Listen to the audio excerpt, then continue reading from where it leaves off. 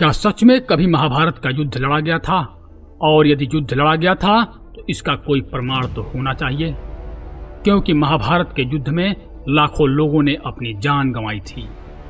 हिंदू धर्म में माना जाता है कि महाभारत में वर्णित घटनाएँ सत्य और प्रमाणित हैं, लेकिन फिर भी बहुत से लोग इसे काल्पनिक मानते हैं। कुछ इतिहासकार ये मानने को तैयार ही नहीं है कि महाभारत का युद्ध कभी लड़ा गया था।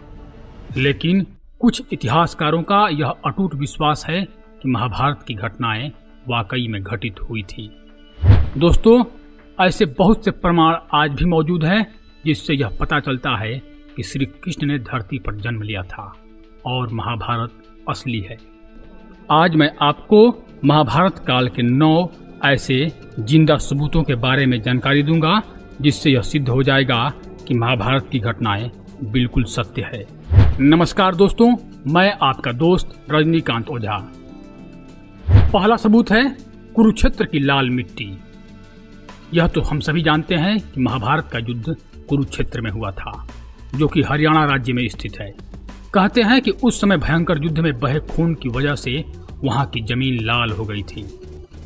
पुरातात्विक विशेषज्ञों ने भी यह माना है कि महाभारत की घटना सच थी। उस जगह पर तीरों और भालों को ज़मीन में गाड़ा पाया गया है, जिनकी जाँच में यह पता चला है कि यह 2800 ईसा पूर्व के हैं, जो कि लगभग महाभारत काल के समय के बने हुए हैं। दूसरा साक्ष्य है, अर्जुन का चक्रव्यूह। आप महाभारत में अर्जुन के चक्रव्यूह के बारे में जानते होंगे, लेकिन आपको पता है, इस चक्रव्यूह का जीता जागता सबूत आज भी मौजूद है।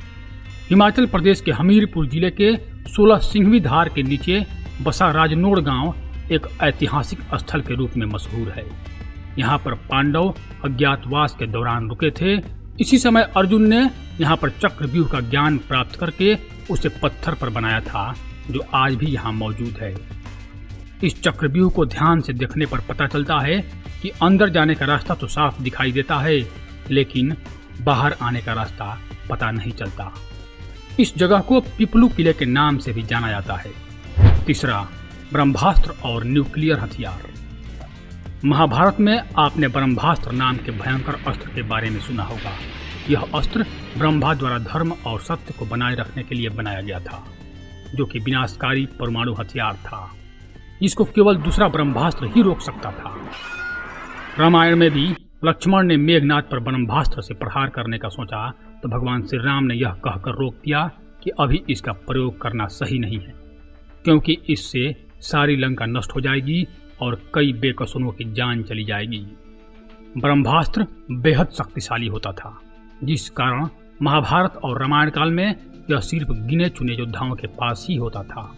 यह अस्त्र पूरी दुनिया को नष्ट करने की ताकत रखता है। अमेरिका ने जे रोबोट ओपन हाइमर को परमाणु बम बनाने को दिया फिर इसका परीक्षण किया गया। धमाके का परिणाम बिल्कुल ब्रह्मास्त्र की तरह था। इसके बाद वैज्ञानिकों ने भी माना कि इस तरह का शस्त्र महाभारत में इस्तेमाल किया गया था। चौथा श्री कृष्ण की द्वारिका नगरी। भगवान श्री कृष्ण को द्वारिका का राजा कहा जाता है और महाभारत में इस बात की जानकारी मिलती है कि यह नगरी जल में डूब गई थी, यानी कि पूरा नगर ही पानी में समा गया था। आपको जानकर आश्चर्य होगा कि पुरातत्व विभाग को गुजरात के पास समुद्र के नीचे एक पुराना शहर मिला है और इसके सबूतों से यह पता चलता है, यही द्वारका नगरी है, जिसका वर्णन महाभारत में है। पांचवा, लक्षागृह। महाभारत काल में लक्षागृह की भूमिका भी महत्वपूर्ण मानी जाती है। कौरवों ने पांडवों को जलाने की साजिश के लिए लक्षागृह का निर्माण करवाया था, लेकिन पांडव सुरंग से निकलकर बाहर आ गए थे। कहा जाता है कि आज भी यह सुरंग उत्तर प्रदेश के बरनावा नामक स्थान पर मौजूद है। छठा महारथी कर्ण का अंग राज्य कुंती के सबसे बड़े पुत्र दानवीर कर्ण अंग देश के राजा थे, जो उन्हें दुर्योधन ने उपहार में भेंट किया था। आज अंग देश को उत्तर प्रदेश के गोंडा ज़िले के नाम से जाना जाता है। सातवां प्रमाण श्रीमद भागवत गीता है। जिन्होंने भागवत गीता पढ़ी होगी वह यह भी जानते होंगे कि इसमें ज़्यादातर श्लोक दो लाइनों में लिखे गए हैं।